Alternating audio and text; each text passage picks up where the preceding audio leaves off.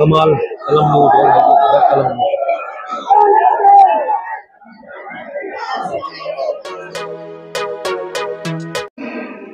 सरकारों के बदल जाने से व्यवस्थाएँ बदल जाती हैं। क्या वाकई सरकारों के बदल जाने से हक अधिकार मिल जाया करते हैं? और क्या वाकई किसी सत्ता में बहुत सारे लोगों का बने होना ही हक और अधिकार मिलने की गारंटी है तो मेरा मन कहता है मैं कहूँ, नहीं। और यह बात मैं ज़ोर देकर इसलिए कहना चाहता हूँ कि मैं लोहिया कर्पूरी और शहीद जगदेव का वैचारिक शिष्य हूँ। और कर्पूरी कहा करते थे कि वैचारिक तौर पर भ्रष्ट और पतित लोग किसी भी समाज का भला नहीं कर सकते। वो चाहे किसी भी समुदाय से आते हो, ये काफ़ी नहीं है कि हमारे समुदाय के लोग कुछ भी करके, कुछ भी कह के और किसी भी तरीके से सत्ता में बने रहे। और यह बात मुझे चीख कर इसलिए कहनी पड़ रही है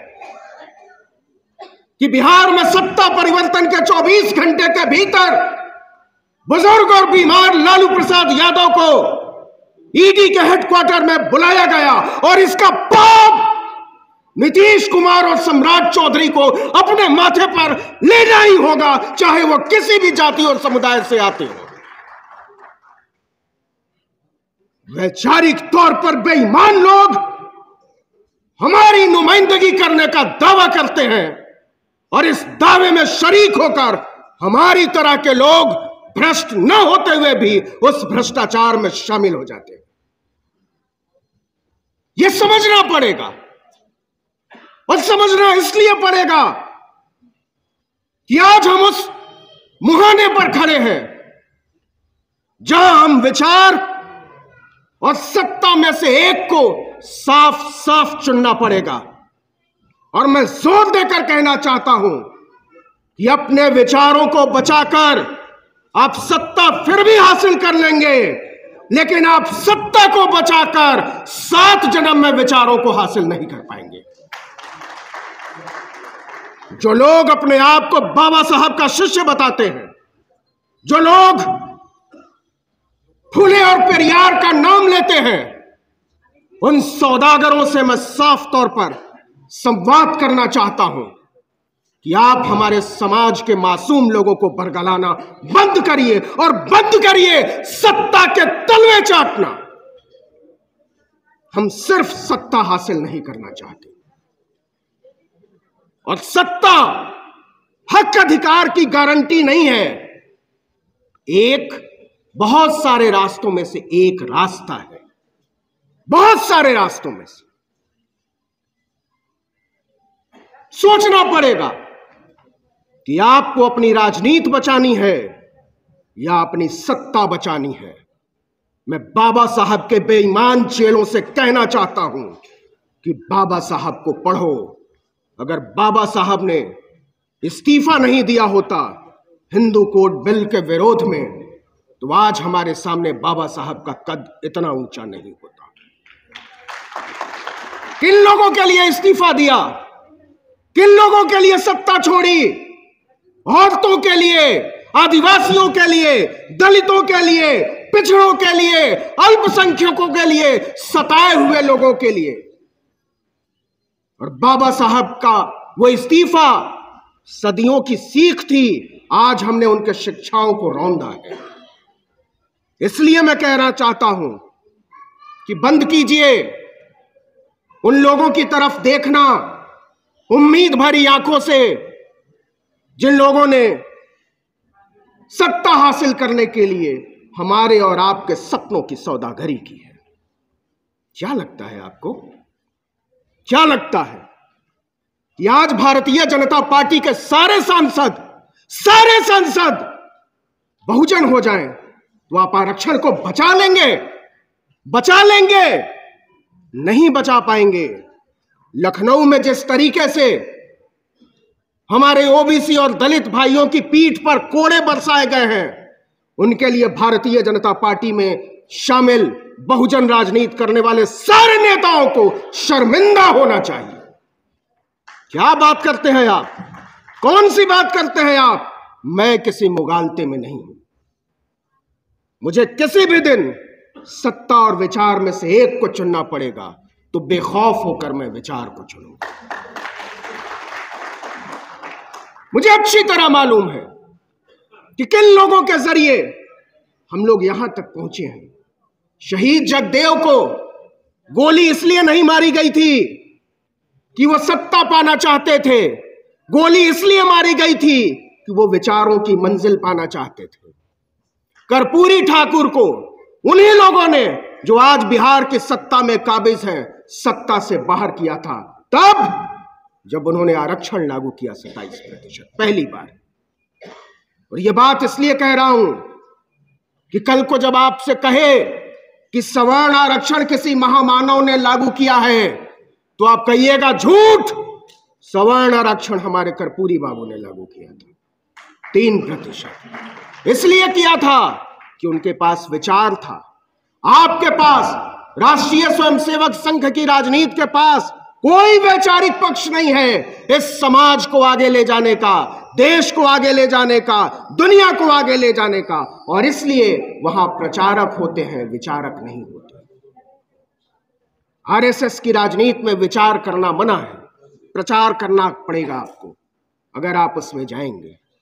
गुलवलकर और हेडगवार ने जो लिख दिया, हिंदू राष्ट्र का जो सपना दिखा दिया मूर्ख किस्म के लोग, जाहिल किस्म के लोग हमारे लोगों को बरगला रहे हैं कि अखंड हिंदू राष्ट्र बनेगा।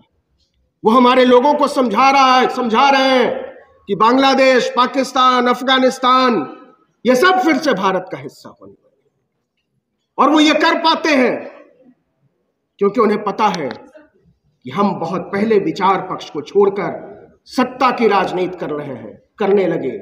और इसलिए सत्ता के लालच में हमारे वो लोग जिनसे हमने विचार पक्षता की उम्मीद लगाए बैठे थे, वो उनके तलवे चाहे इस बात को बहुत महीन तरीके से समझने की ज़रूरत है मेरे दोस्त, मेरी माओ, मेरी बहनों, मेरे बुज़ुर्गों। यह बात मैं इसलिए कह रहा हूँ कि आपको पता नहीं है कि जिस राजनीति का साथी और शागिर्द बहुजन होने के नाम पर बिहार में जिन लोगों के साथ चले गए हैं, उनकी राजनीति क्या है? उनकी राजनीति मारने और काटने की राजनीति है।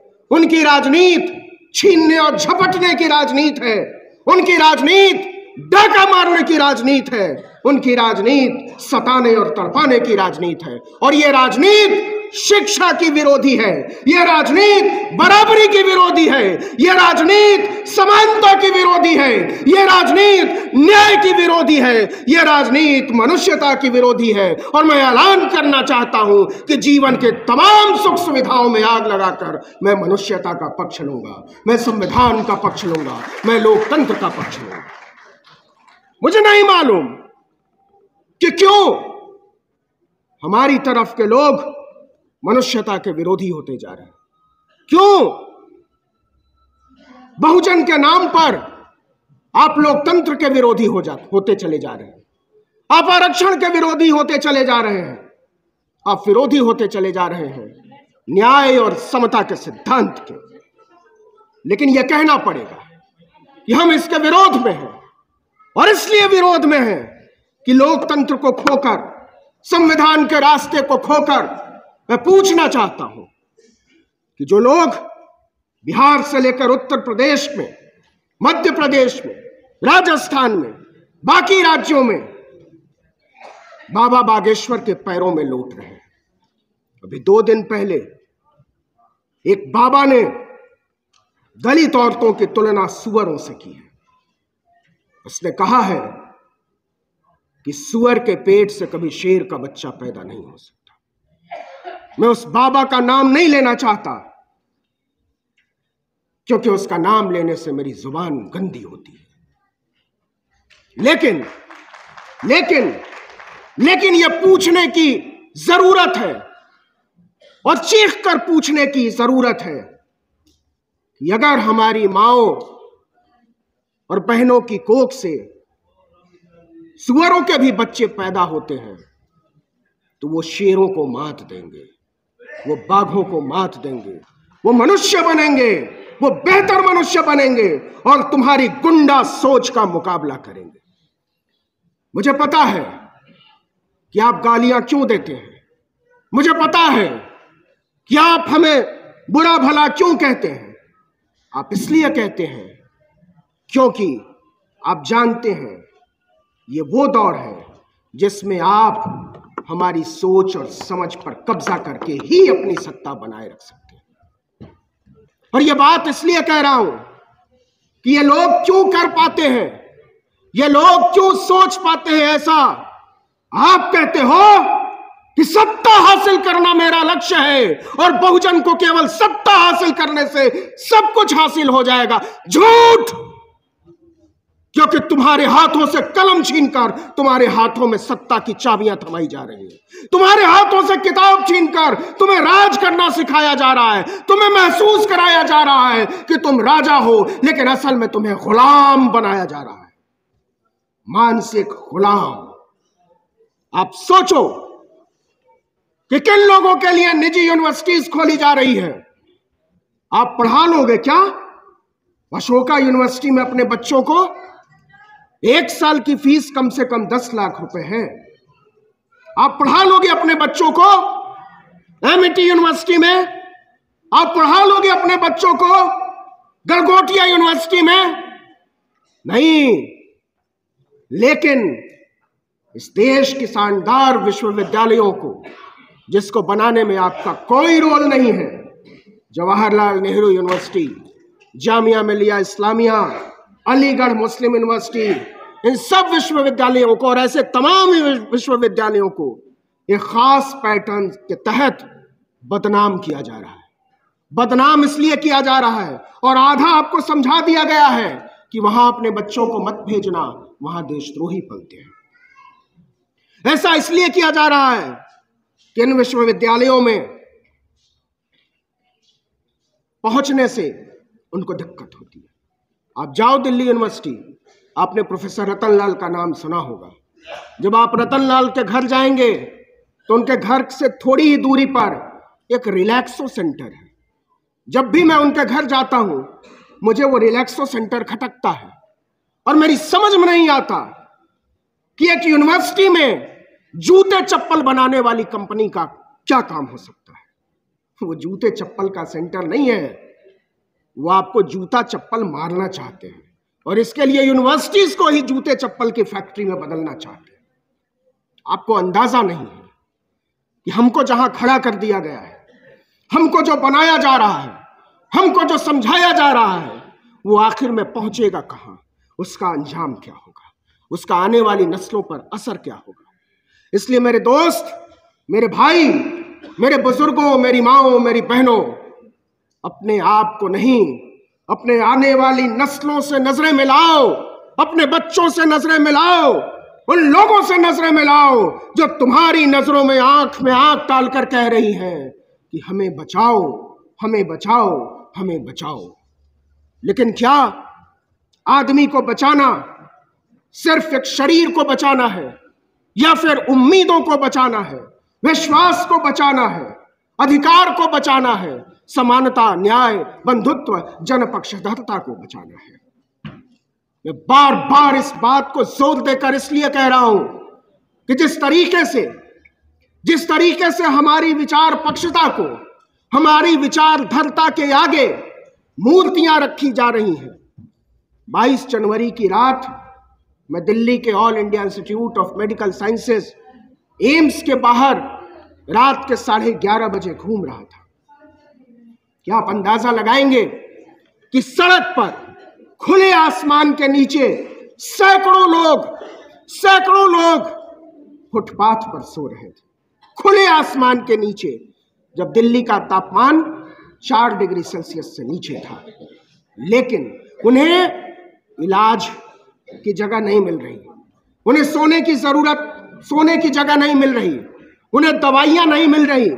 उन्हें डॉक्टर मैसर नहीं है। लेकिन फुटपाथ पर सो रहे हर आदमी के सिरहाने पर एक दिया जल रहा था। 22 जनवरी की रात। उनमें से ज़्यादातर लोग दलित थे। पिछड़े थे, आदिवासी थे, पसमानदा थे। हमारे लोगों को किन लोगों ने सिखाया कि तुम्हें अपने सिरहाने दिया रखने की ज़रूरत है, कलम रखने की ज़रूरत नहीं है, किताब रखने की ज़रूरत नहीं है? किन लोगों ने सिखाया कि तुम्हें अपना अधिकार बचाने की ज़रूरत नहीं है, तुम्हें अपने भीख मांगने की ज़रूरत है? वो तमाम लोग, चाहे वो किसी भी जाति के हो, चाहे वो किसी भी संप्रदाय, पंथ और मज़हब के हो, चाहे वो मेरी ही जाति के हो, चाहे वो दलित हो, पिछड़े हो आदिवासियों हो अगर उन्होंने हमें कलम छीन कर हमारे हाथों से, हमारे हाथों में दिया थमा दिया है, हमारे हाथों में अगरबत्ती, मोमबत्ती, किसी मंदिर का घंटा थमा दिया है, वो हमारी नज़रों में गद्दार है। वो हमारी नज़रों में गद्दार है, क्योंकि हम अपनी शिक्षाओं में, हम अपनी शिक्षाओं से समझौता करने को राज़ी नहीं है। आज कुछ लोगों के साथ हो रहा है। कल ज़्यादातर लोगों के हाथों में आप लाठी और बल्लम देखेंगे। वो कौन लोग हैं जिन्हें इस देश के 20 करोड़ लोगों के खिलाफ मानसिक तौर पर तैयार किया जा रहा है? वो कौन लोग हैं जिनके हाथों में लाठी और बल्लम थमाया जा रहा है? वो कौन लोग हैं जिन्हें त्रिशूल थमाया जा रहा है? आपने सुना होगा, आपने सुना होगा कि बिहार के नए उप मुख्यमंत्री जिन्हें बहुजन कहते हुए बहुत सारे लोगों को नाज होता है, उन्होंने नीतीश कुमार को सत्ता से हटाए बिना पगड़ी न हटाने की कसम खाई थी। अब वो पगड़ी हटाने वाले हैं, बाल मुंडाने वाले हैं और इसके लिए उन्होंने अयोध्या को चुना है। तो आपको गर्व होता हो तो हो। आप उन्हें बहुजन मानते हो तो माने। आपको इस पर नाज होता हो तो हो। मुझे नहीं होता, क्योंकि मुझे पता है कि वो जिस रास्ते पर देश को ले जाना चाहते हैं वो जिस रास्ते पर बिहार को ले जाना चाहते हैं, जिस रास्ते पर नागरिक को मोड़ना चाहते हैं, वो रास्ता मेरा रास्ता नहीं है। वो रास्ता बाबा साहब डॉक्टर भीमराव अंबेडकर का रास्ता नहीं है। वो रास्ता पेरियार का रास्ता नहीं है। वो रास्ता शहीद जगदेव और जननायक कर्पूरी ठाकुर का रास्ता नहीं है। रास्ते आसान नहीं होते मेरे दोस्त। नए रास्ते बनाने पड़ते हैं। आपको अगर गढ़े हुए रास्तों पर चलने की आदत पड़ गई है, अगर आपको आलसी बना दिया जा चुका है तो आप फिर अपनी गुलामी की तैयारी करिए, मैं वैचारिक आज़ादी की तैयारी करूँगा। लेकिन अगर आप चाहते हैं कि हमारा और आपका रास्ता एक हो, अगर आप चाहते हैं कि हम सिर्फ़ अपने लिए नहीं, अपने आने वाली नस्लों के लिए रास्ता बनाकर चलें तो हम और आप चलिए मिलकर एक नया रास्ता बनाते हैं कौन नहीं जानता कि उत्तर प्रदेश की राजनीति में कौन किसके साथ समझौते कर रहा है? कौन नहीं जानता कि भारतीय जनता पार्टी के उत्थान के पीछे कौन लोग हैं? आपको इसमें कोई बहुजन राजनीति दिखाई दे रही हो तो दिखाई दे। मुझे नहीं दिखाई देती। मुझे इसमें समझौता परस्ती दिखाई देती है, सौदागरी दिखाई देती है। मैं किसी भी कीमत पर अपनी बेटियों अपनी बहनों, अपनी माओ, अपने दोस्तों, अपने नौजवानों, अपने बुज़ुर्गों के लिए समझौता करने को किसी से भी एक धुर भी राशि नहीं। चाहे इसके एवज में कुछ भी हासिल होता हो आपको कुर्बानियाँ देनी पड़ेंगी, और वो कुर्बानी कुछ भी हो सकती है। आपको अपने साथ लड़ना ही पड़ेगा। आपको पता है, दुनिया में सबसे कठिन लड़ाई कौन सी होती है? दुनिया में सबसे कठिन लड़ाई होती है, अपने आप से लड़ना। अपनी सीमाओं से लड़ना, अपनी जड़ताओं से लड़ना, अपने अवरोधों से लड़ना। मैं एक मर्द हूँ और इसलिए खास तौर पर यहाँ बैठे तमाम मर्दों से कहना चाहता हूँ कि हम चाहे जितने समान धर्मा हो जाए, हम चाहे जितने प्रगतिशील हो जाए, हम चाहे जितने जुझारू जागरूक उदार हो जाए, लेकिन थोड़ा सा स्त्री विरोध हमारे भीतर बचा रहता मर्द बुनियादी तौर पर औरतों का विरोधी होता है। हम सीख रहे हैं औरतों को अपने समान महसूस करना। यही वजह है कि इस हॉल में भी पुरुषों की तादाद ज़्यादा है, महिलाओं की तादाद कम है, क्योंकि हमारे पुरुष औरतों को अपने बराबर का दर्जा देने को तैयार नहीं है। इस संसार में मैं हमेशा कहता हूँ और बार बार कहता हूँ कि इस पूरे संसार में जितनी भी जितनी भी खूबसूरत चीज़ें हैं साफ़ हवा है, पानी है, फूल है, झरने हैं, बागीचे हैं, शांति है। वो सब सब के सब केवल और केवल औरतों की वजह से है। और जितनी भी खराब चीज़ें हैं, युद्ध है, अशांति है, फूहड़ता है, गंदगी है, बेईमानी है, उचक्कापन है, उसके लिए सिर्फ़ और सिर्फ़ मर्द जिम्मेदार है, उनका अहंकार जिम्मेदार है। हमको समझना पड़ेगा। हमको बराबरी के दायरे का विस्तार करना पड़ेगा। मैं यहाँ आपको खुश करने के लिए नहीं आया हूँ। हमारा काम लोगों को खुश करना नहीं है। हमारा काम उन बातों को आपके सामने रखना है, जिससे कोई नई राह बनती हुई दिखाई दे, जिससे समझ में आए कि हम कहाँ पहुँचना चाहते थे, जिससे समझ में आए कि हम कहाँ से चले थे। इसलिए आखिर में मेरे भाई मेरी माओ, मेरी बहनों, मेरे साथियों, सिर्फ़ इतना कहना चाहता हूँ कि ज़रूरी नहीं है कि हम सत्ता हासिल करें। ज़रूरी है कि हम समझदारी हासिल करें। ज़रूरी है कि हम विचार हासिल करें। अगर आपको दिए और कलम में से एक को बचाना पड़े तो आप पहले कलम को बचाना, दिए की लौ को बुझने देना, दिया फिर भी जलेगा। और दिए का मतलब केवल ज्ञान का दिया होता ये तमाम बाबाओं की कतारें जो लग रही हैं, वो इस देश के संविधान के खिलाफ है। वो समानता, न्याय, बंधुत्व के विचार के खिलाफ है। इस पूरे देश में, इस पूरे देश में किसी का भी काम किसी भी बाबा के बिना चल सकता है। घंटा बाबा, झुमटा बाबा, चिमटा बाबा, कंप्यूटर बाबा, फला बाबा, चला बाबा, किसी भी बाबा के बिना चल सकता है। इस देश में अगर किसी एक बाबा के बिना किसी का काम नहीं चल सकता तो वो हमारे बाबा साहब भीमराव अंबेडकर इसलिए तमाम बाबाओं को खारिज करो ताकि हमारे इकलौते बाबा को बचाया जा सके। इसके अलावा अपने आप को बचाने का, इस देश को बचाने का, समानता, न्याय और बंधुत्व के विचार को बचाने का कोई रास्ता नहीं है।